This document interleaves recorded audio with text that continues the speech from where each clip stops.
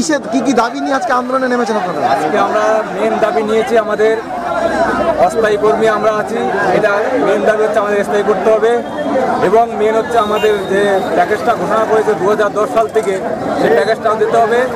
এবং ইতিমধ্যে একটা নবান্ন থেকে ঘোষণা করেছে আমাদের, যে একটা লিস্ট এসছে ট্রেজারিতে সেই ট্রেজারি থেকে লিস্ট আমাদের কাছে এসছে। সেই লিস্ট অনুযায়ী যত টাকা আমাদের দিতে বেতন খাতে দিতে হয়, সেটা যেন পৌর কর্তৃপক্ষ আমাদের দেয়। স্থায়ীকরণ করতে হবে এবং বিশেষ করে আমরা ইএসআই ভুক্ত না, কিন্তু ইএসআই ভুক্ত না। আমাদের স্বাস্থ্যকারীর একটা ভুক্ত করেছে দু তিন বছর হয়ে গেছে আমাদের জন্য সেই কাগজপত্র জমা নিয়েছে এবং তারা সেই কার্ড এখন আমাদের হাতে পৌঁছে দেয়নি। বিশেষ করে হচ্ছে, আমাদের ইপিএফ এর যত টাকা কাটে, কত টাকা কাটে, কি কাটে, কারও কারও কোনো হিসাব নেই। একটা নিয়ম আছে তো, ইএসআই পিএফ কাটলে আমাদের হাতে স্লিপ পৌঁছানোর কথা।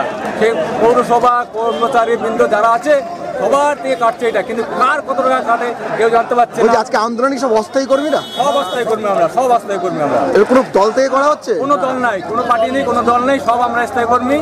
ডিআরডব্লিউ আমাদের মাস্টারও কর্মী ছিলাম সেটাও আমাদের ডিআরডব্লিউ করে দিয়েছে। কতক্ষণ চলবে আন্দোলন? আন্দোলন চলবে যতক্ষণ না আমাদের কর্তৃপক্ষ যারা আমাদের দাবি না মানে আমরা বৃহত্তর আন্দোলন চলবে এবং দীর্ঘ